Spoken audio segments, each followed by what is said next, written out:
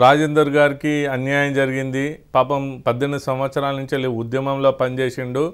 ఆయన KCR TRS party పెట్టినప్పుడు ఆ పార్టీని ఆ ఊర్లలోకి తీసుకొని పోయిండు జెండాలు ఎత్తిండు. టీఆర్ఎస్ పార్టీని అక్కడ ప్రజలకు పరిచయం చేసిండు. ప్రజలలో ఉద్యమ స్ఫూర్తి నింపిండు. పద్దెనిమిది సంవత్సరాలు ఈయనకు నిల అండగా నిలబడమని ఆయన కూడా చెప్పిండు కదా కేసీఆర్కు పద్దెనిమిది సంవత్సరాల నుంచి అలా అండగా నిలబడదామని. అవును. ఆయన చేసిన తప్పు ఏమున్నది నీ ఎంబడే ఉన్నాడు కదా.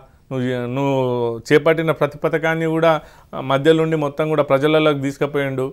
ఆ ప్రాంత అభివృద్ధిని చేసిండు. వాళ్ళు చూస్తూ ఉన్నారు. తెలంగాణ రాష్ట్రంలో పక్కన హుస్నాబాద్ ఉన్నది కరీంనగర్ ఉన్నది అటు పక్కన వరంగల్ ఉన్నది హన్మకొండ ఉన్నది. చుట్టుపక్కల ఉన్నటువంటి నియోజకవర్గాలలో జరగనటువంటి అభివృద్ధి హుజరాబాద్లో జరిగింది.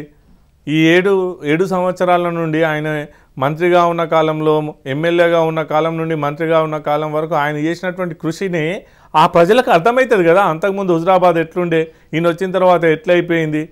ఒక ఎమ్మెల్యేగా అభివృద్ధి విషయంలోనే కాదు వ్యక్తిగతంగా ఒక్కొక్క వ్యక్తి కుటుంబంతో ఎట్లాంటి సంబంధాలను పెంపొందించుకున్నాడు?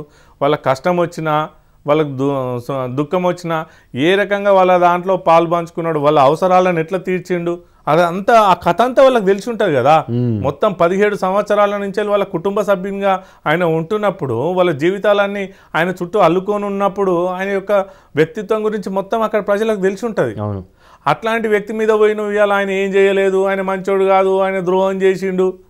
ఇవన్నీ ఎవరికి చేసిండు? కేసీఆర్ కుటుంబానికి ఆయనకు మధ్యన వచ్చిన పంచాయతీ విషయంలో అక్కడ హుజరాబాద్ ప్రజలు ఎందుకు ఆయనకు అన్యాయం చేస్తారు? ఓకే. అయితే ఇది ఒక కారణం.